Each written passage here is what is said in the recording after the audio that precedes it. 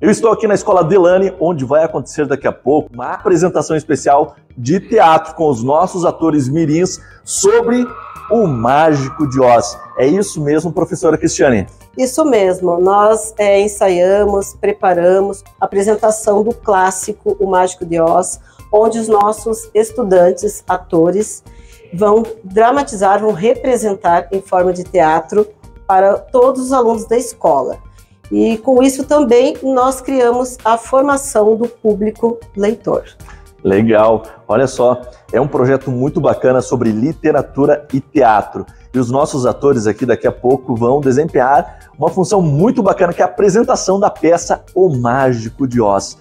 Professora, fala uma coisa pra gente. Como surgiu essa ideia desse projeto de arte, literatura e teatro?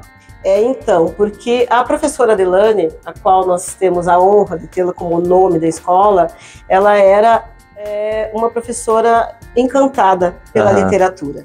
Enquanto ela estava é, presente fisicamente em Araucária, ela sempre salientava a importância. E nós temos a obrigação de dar continuidade ao trabalho da professora Delane, é, fazendo este projeto diferenciado de literatura, contação de história e apresentação de teatro, juntamente com a retirada dos livros, que é o nosso foco, alvo criar alunos, estudantes, leitores.